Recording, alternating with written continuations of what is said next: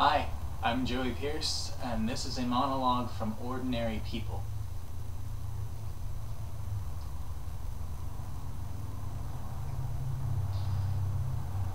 I tried to kill myself.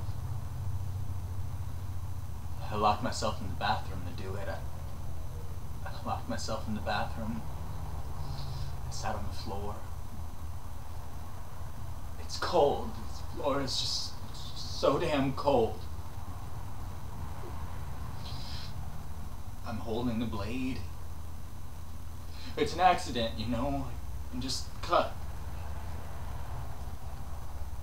Inside I'm burning up, but outside all I can feel is the cold.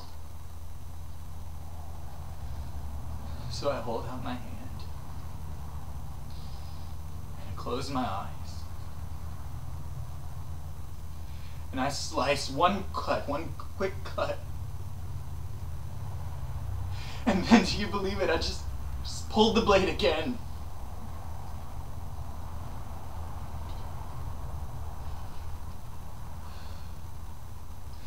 And then I opened my eyes. And there it was.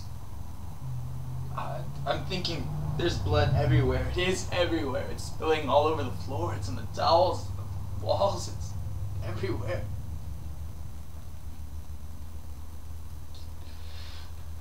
Downstairs in the den watching television.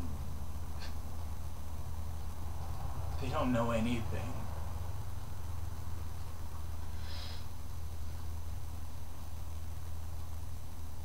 And I, I feel so bad.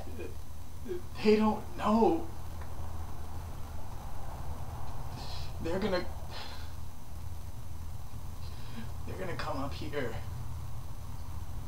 and find this. This mess.